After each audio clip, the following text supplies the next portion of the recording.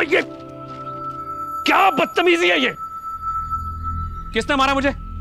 ये आसिफ ने। मैं? आसिफ रुको इसे।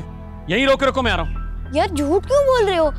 मैं तो बोल कर आया था। कुछ नहीं होता। प्लीज़ यार बोल दो।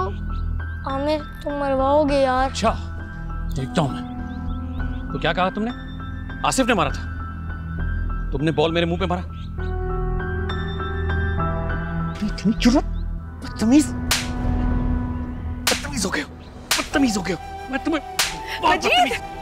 क्यों मार रहे हैं आसिफ को आप? क्यों मार रहा हूँ? तुम्हारे बेटे ने जानबूझकर मेरे मुँह पे बॉल मारी है। पूछो से पूछो।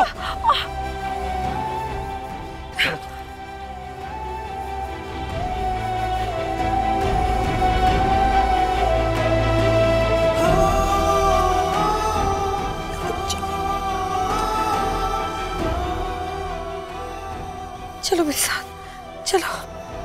रफीक कारोबार देख तो रहे हैं। तुम क्यों इतनी परेशान हो रही हो? बाजी पैसे तेज़ी से खत्म हो रहे हैं।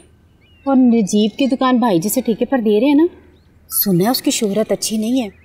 काफ़ी लोगों के उसने पैसे खाए हैं। अच्छा। सलमा तुम सिलाई मरकज क्यों नहीं खोल लेती? बच्चियाँ अभी इतनी छोटी हैं उन्हें मेरी तवज्जो की ज़रूरत है। और अम्मा तो बिल्कुल नहीं मानेगी।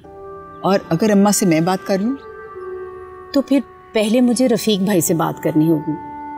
अगर दुकान से हर महीने इतने पैसे आते रहें कि इज़्ज़त की रोटी और बच्चियों की तालीम पूरी हो जाए तो फिर कारोबार का सोचूँगी।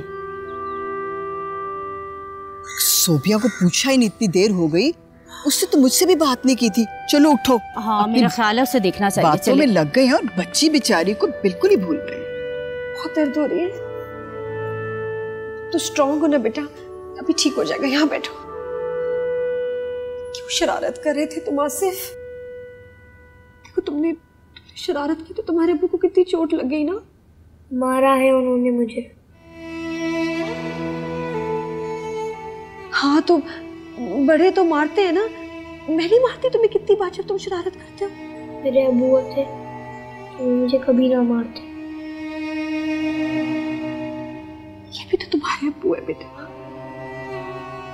तो फिर उन्होंने मुझे क्यों मारा?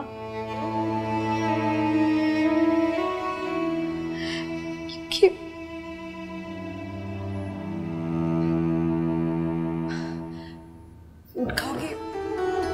पता है फ्रूट खाने से ना सुपर हीरो बन जाते हैं। स्ट्रांग हो जाते हैं। चलो मेरे बच्चे फ्रूट खाओ। चलो।